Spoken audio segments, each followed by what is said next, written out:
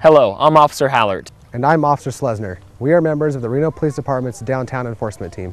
Did you know that if you commit any crime in any city of Reno Park, you are subject to being excluded from that park for a time period of up to 180 days?